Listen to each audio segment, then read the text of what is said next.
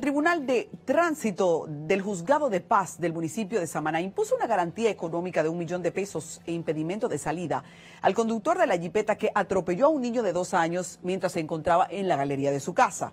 Recuerden que se trató del hecho en que el hombre perdió el control de su vehículo y fue a parar dentro de la vivienda. Federico Rután nos amplía.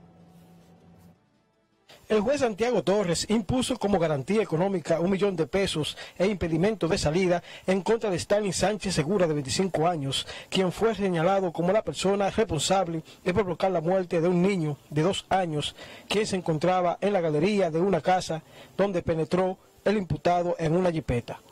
No, se le impuso al imputado una medida de coerción consistente en una garantía económica, a la razón de que se probó que no existía fricción ni la intención de dañar. Tiene un millón de pesos a través de una compañía fianzadora. Un millón de pesos.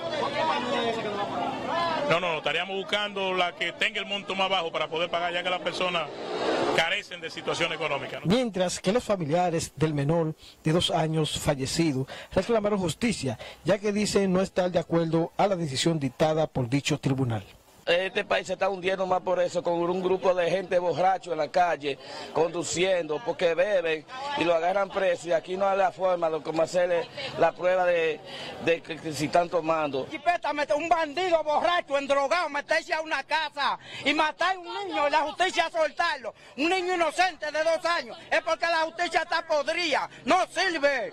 No agarró y se fue de una vez para el cuartel de que lo chocó y se mandó a juicio. ¿Por qué fue? Él tiene que ir para el cuartel, como todo el mundo coge cada vez que mata una gente se va para el cuartel. Recuerda que el hecho ocurrió en la noche del día 27 de diciembre del 2018, cuando Sánchez Segura conducía la jipeta marca de color gris, placa número G410292, y penetró a la galería de una vivienda ubicada en la calle Santomé, dejando sin vida al menor de dos años, que se encontraba en la referida galería, abandonando el lugar, llevando dicho vehículo hasta el barrio La Plazoleta, donde más tarde fue apresado por la Policía Nacional de Sánchez. Desde el municipio de Sánchez, provincia de Samaná, Federico Rután, CDN.